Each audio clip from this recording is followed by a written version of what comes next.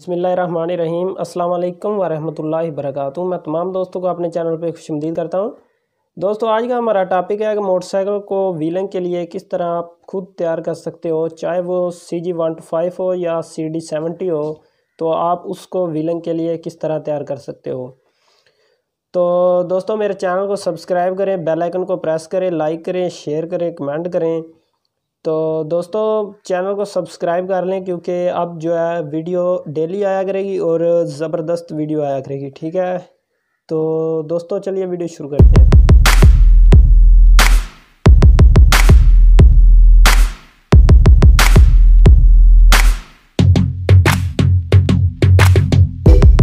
तो दोस्तों, जैसा कि आपको ये बाइक एक नज़र आ रहा है, ये बिल्कुल अपनी जेन्यन कंडीशन पे है। इसको हमने व्हीलिंग के लिए नहीं तैयार किया। तो मैंने जो है बाइक व्हीलिंग के लिए जो प्रैक्टिकल वीडियो बनानी थी, लेकिन प्रैक्टिकल वीडियो जो है वो नहीं बना सका, ठीक है? तो बहुत से दोस्त जो है वो व्हाट्सअप पे और कॉल्स वगैरह भी कर रहे हैं कि, यार, जल्दी व्हीलिंग की वीडियो जो है वो अपलोड कर दो। तो मैंने आप दोस्तों को पहले ही बता दिया था वीलन की वीडियो का। तो इसलिए दोस्त जो है वो कालें वगैरह करते हैं। तो आज हम उस वीडियो को बनाने जा रहे हैं। तो दोस्तों, अभी मैं आपको ये थोड़ा करीब जा के दिखाता हूँ। ये जैसे बाइक का हैंडल जो है, ये अभी जेन्यन कंडीशन पे है। जब भी आपने बाइक व्हीलन के लिए तैयार करानी है तो सबसे पहले जो हैंडल है, ये छोटा डालें, ठीक है? उसके बाद उसके बाद दोस्तों ये आ जाती है शाह कान इनको आपने उतार देना है, ठीक है? ये ऊपर वाला भी उतार देंगे। ये नीचे वाला ग्लास है, इसको भी उतार देंगे, ठीक है? ये अब इसको नॉर्मल कंडीशन में लेके आना यानी कि ये नहीं होगी तो बाइक आगे से होला हो जाएगा। इसका वज़न जो है वो आगे से कम हो जाएगा। तो ये जो है ये आपने नहीं उतारना, क्योंकि व्हीलिंग करते करते कभी बाइक गिर भी सकता है। तो ये फ़ायदेमंद साबित होता है, ये आपने नहीं उतारना, ठीक है? ये आपने याद रखना है। इसको सेफ़ गार्ड बोलते हैं, ठीक है? उसके बाद जी इसकी हेडलाइट है। हेडलाइट को आपने उतार देना है। जब ये उतारेंगे तो हेडलाइट जो है वो खुद ब खुद ही उतर जाएगी। उसके बाद ये मीटर है, मीटर को आपने उतार देना है। मीटर को उतारने के बाद यहाँ पे एक आपको प्लेट मिल जाएगी मार्केट से। वो आपने लगा देनी है। ठीक है दोस्तों? दोस्तों, उसके बाद जी इसका मडगाट की बारी आ जाती है। मडगाट भी आपने उतार देना है ये वाला। इसकी जगह आपने कुछ भी नहीं लगाना। तो बाद में आपने ये चीज़ें अपने पास ही रखनी है। बाद में आप अपने बाइक को सही कंडीशन में भी ला सकते हैं। ठीक है? उसके बाद जी इंजन, मेन चीज़ जो होती है, इंजन है। तो दोस्तों, वीडियो को पूरा देखना है। नेक्स्ट यानी कि लास्ट में मैं कुछ आपको चीज़ें जो बताना चाहता हूँ तो वो इंशाल्लाह बताऊँगा।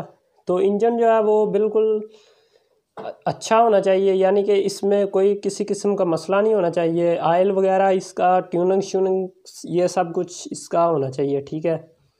तो आगे से मैंने आपको बताया कि आपने ये जितनी भी चीज़ें लगी हुई है, ये उतार देनी है, ठीक है? आगे से इस तरह का बाइक हो जाएगा। अब चलते हैं जी पीछे की तरफ़। तो ये टैंकी के बारे में कुछ बताते हैं। यह टैंकी इसकी जेन्यन जो होती है, ये आपने उतार देनी है, ठीक है? इसकी छोटी टैंकी मिल जाती है, वो आपने लगानी है, वो आपको मिल जाएगी मार्केट से इजीली तो इसके टापे वगैरह ये आपने नहीं लगाने, ये उतार देने हैं। तो ये सोलह मॉडल रावी बाइक है। इसका हम थोड़ा आपको रिव्यू भी कराते हैं। तो इसके बाद ये जालियाँ लगी हुई है, इनको भी आपने उतार देना है, ठीक है? इसकी जगह पे आपने ये किल्ली आपको नज़र आ रही है, ये लगा देनी है, ठीक है? दोस्तों, इसके बाद ये सलेंसर आ जाता है, सलेंसर की बारी। तो सलेंसर जो है, ये आपने उतार देना है तो इसकी जगह पे एक और सलेंसर मिलता है, जो कि छोटा होता है, ठीक है? जब आप इसको व्हीलिंग के लिए ऊपर उठाओगे तो ये सलेंसर नीचे लगने का ख़तरा होता है, ठीक है? तो सलेंसर जो है वो आपने छोटा ले लेना है। छोटा सलेंसर लेके भैंसरी वाला, उसकी एक तो आवाज़ ज़्यादा हो जाएगी तो वो सलेंसर आपने ले लेना है। ठीक है? उसके बाद सीट भी इसकी जो है वो मार्केट से छोटी मिल जाती है, वो तकरीबन इतनी सी होती है। ठीक है? आगे से आप अंदाज़ा लगाएँ तो। यानी कि हाफ़ होती है वो। ये आपको नज़र आ रही है, इतनी सी होती है। ठीक है? वो आपको मिल जाएगी इजीली आप वो ले लें। उसके बाद शाख जो है, ये आपके बिल्कुल सही होने चाहिए, सही कंडीशन में होने चाहिए। ये पिछला मडगाड़ जो है, ये भी आपने उतार देना है। ठीक है दोस्तों, जब आप व्हीलिंग के लिए इसको ऊपर बाइक को उठाएँगे तो ये मरगाड़ जो है, ये नीचे लगेगा। ज़मीन के साथ जैसे ही ये टकराएगा तो मरगाड़ जो है, वो टूट जाएगा और आपकी व्हीलिंग को ख़राब कर देगा। ये पिछली लाइट वगैरह, ये सब कुछ उतार देना है। ठीक है?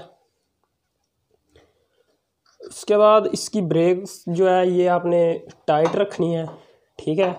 ये ना हो कि आप व्हीलिंग कर रहे हैं तो ब्रेक ही ना लग रही हो। ब्रेकें इसकी दोनों जो है, वो ज़बरदस्त कंडीशन में हो।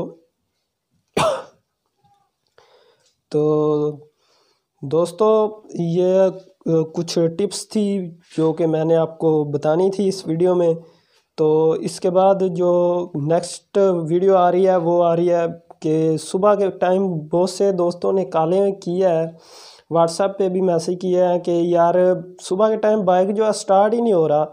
तो चौक देते हैं, फिर पता नहीं बीस तीस किक्कें लेता है, फिर जाके स्टार्ट होता है। तो उसके लिए सुबह इंशाल्लाह वीडियो अपलोड हो जाएगी। तो मिलते हैं इंशाल्लाह अगली वीडियो में। अब तक के लिए अल्लाह हाफिज़।